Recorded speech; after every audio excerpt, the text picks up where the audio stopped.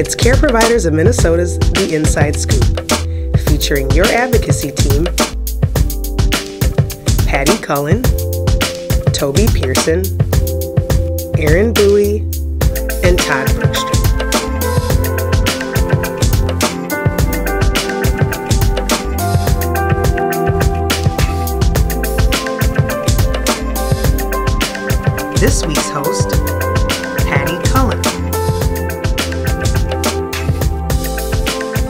Hi, welcome to this week's issue of Inside Scoop. Once again, I am the substitute star of Inside Scoop because the lobbyists are at the Capitol. Today is, I'm Patti Cullen, President and CEO of Care Providers in Minnesota. Today is the second committee deadline. All bills need to be out of the policy committees of both the House and the Senate to technically stay alive during this session. So your lobbying team has been over there today as well as every other day and night this week on issues affecting um, you and, and your businesses.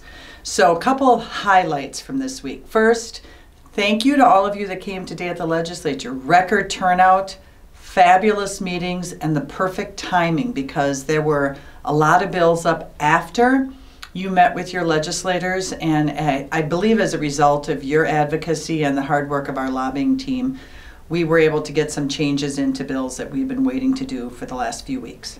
So that was the first thing that happened. Um, yesterday, the Senate Republican caucus delineated their spending targets for the rest of the year and their priorities. And in the elder care area, um, and we had met earlier with the Senate Majority Leader, Paul Gazelka, from the Nisswa area, and he had said in advance they were going to put away some money just for elder care issues and to have that a separate issue going forward. And $5 million is their target. and you say, wow, that's great. That seems like a lot of money. Well, on the House side, they have a bill, um, the House Democrats who lead the caucus in the House they're the majority caucus. They have not delineated specifically how much money they're going to spend on elder care.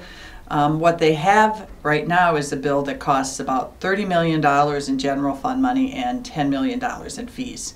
So 40 million and 5 million are not the same numbers. So we're going to have some interesting negotiations moving forward. So what else happened?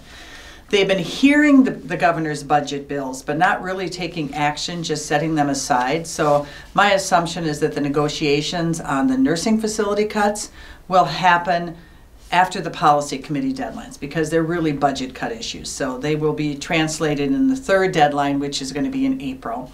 And we will have time to figure out what we need to negotiate on to get as much of those reductions to nursing facilities removed on the elder care issues, which is primarily what we're calling assisted living licensure and some of the accompanying requirements, we have whittled it down to two bills now. So it's going to be a little bit easier to track through the process.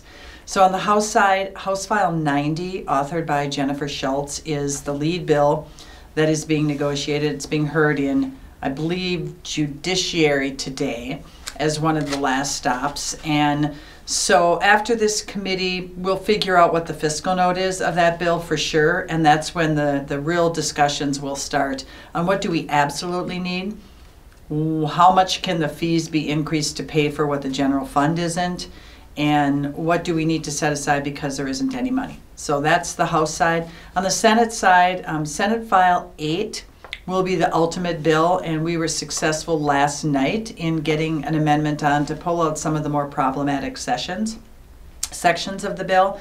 But as we told everyone at the testimony table as well as in meetings, we will continue to meet and negotiate and try to get as much compromise as we can on this bill knowing, however, that we're not going to be able to drive a new licensure system by fee increases, that there has to be some general fund appropriation, and as we move ahead, there are some things that the consumers want and that the agencies want that frankly just won't be able to be funded um, in this session. But we do think it's important to get something in the books right now so that we don't have to relive, like Groundhog Day, the same discussions, the same concerns for one more session. So that is our message to the leadership and our message to you is we will be passing some type of assisted living licensure um, that goes into effect in 2020.